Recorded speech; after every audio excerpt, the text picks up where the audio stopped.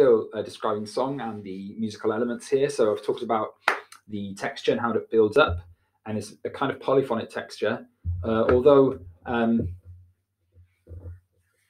really speaking, it's um, generally speaking melody and accompaniment. But we'll get back to that in a second. The song is called Chameleon. and analogy might be drawn to the way that you hear, you see a chameleon when you first see it. You're not sure it's there. Uh, then, the more you observe, uh, the, the more interesting the animal looks. If you ever see a chameleon crossing a road as well, it's kind of scary. You kind of think they're going to get hit by something because they work very, very slowly backwards and forwards. There's also rhythmic. There's also a rhythmic analogy there, uh, but I won't put that in for now. Um, the timbre.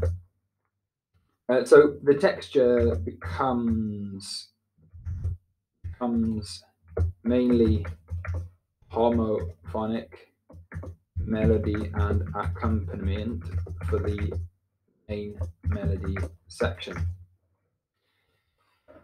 Um, there are lots um, of unusual uh, rhythms which are played together in a way that um, um, which brings out the, the skills of the musicians. Um, from now, um, I'm also going to bring this into have a look at the areas of study here. So I'm going to flick back up to the top here, and I'm going to look at this music for ensemble. Um, now, uh, this is a jazz ensemble. So um, this music is for a jazz ensemble. Ensemble. The timbre, which um, is created by the instruments, is very unique. Um, this is because of the way the uh, the instruments use effects and strange and experimental synths experimental synthesizers um, creates a truly exotic sound world then something in common with the chameleon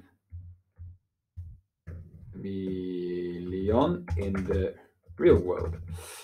Um, uh, the timbre, um, the, piece is also mixed I won't talk about the mixing and the studio work for now.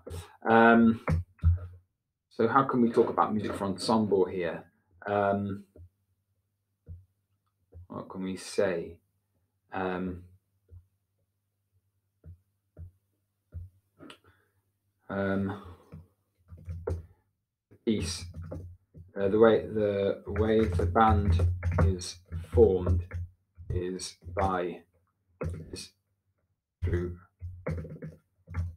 rhythm section and and um, melodic or melody instruments. This creates a mostly homophonic texture. However, there are lots of melody lines which cross over each other. Over each other. Okay, so I'll finish this uh, essay hopefully in the next video. Uh, stay tuned for more.